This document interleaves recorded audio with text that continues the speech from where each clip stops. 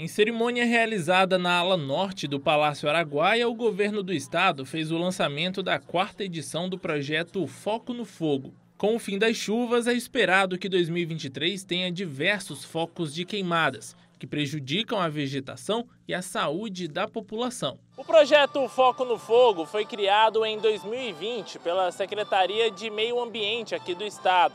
De lá para cá, foram mais de 30 instituições que aderiram ao projeto e formaram o Comitê do Fogo para prevenir as queimadas aqui no Tocantins. Foco no Fogo, ele faz essa parte preventiva, que é onde junta vários órgãos que vão fazer palestras, vão fazer visitações a municípios, a áreas de preservação, a nossa serra aqui em Palmas. Então, essa é a ideia do Foco no Fogo, que faça essas visitas para que haja a conscientização da população desse processo preventivo e, se necessário, haver também a condição de de fiscalização. O combate e fiscalização das queimadas vai acontecer através de municípios indicados pelo Instituto Nacional de Pesquisas Espaciais e dados do Centro de Monitoramento do Fogo. Esperamos que esse ano, com o nosso trabalho, a gente continue nesse contexto de média e até venha em condições abaixo da média. Né? A gente não pode fazer essa, esse processo de que talvez tenha mais ou tenha menos. A gente está trabalhando para que não tenha. Né? Esse é o nosso foco para esse, esse desenvolvimento.